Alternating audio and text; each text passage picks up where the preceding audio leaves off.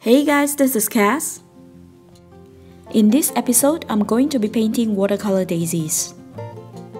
A daisy is a simple yet sophisticated flower.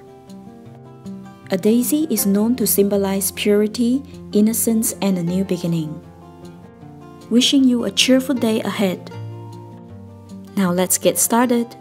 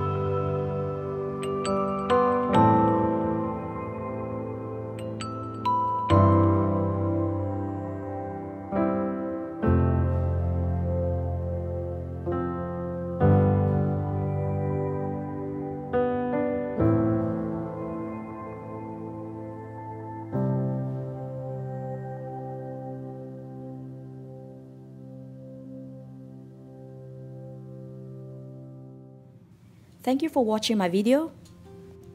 Do like, comment, and subscribe to my channel. Don't forget to hit the bell button for my new video updates.